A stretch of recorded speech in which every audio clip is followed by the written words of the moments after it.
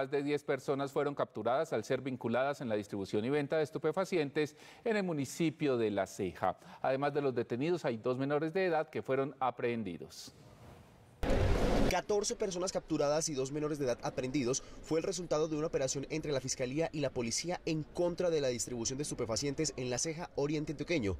Entre los capturados está alias Peter, identificado como el coordinador financiero de la banda El Mesa, que tiene origen en Bello, pero que ha extendido su actuar criminal a otras subregiones. Se realizaron unos allanamientos, lo cual produjo la incautación de más de 7.000 dosis, armas de fuego, munición, dinero efectivo y la captura de 16 ciudadanos. Entre las sustancias que comercializaban en este municipio se encontraba el kush, una variedad de cannabis que produce un fuerte efecto psicodélico. Hoy después de surtidos todos los trámites eh, judiciales de legalización, son cobijados con medida intramural 15 miembros de esta organización delictiva. Hace un mes, la policía confirmó que fueron capturadas nueve personas que al parecer pertenecían a la estructura El Mesa y que utilizaban rituales de santería para proteger negocios ilícitos en Antioquia.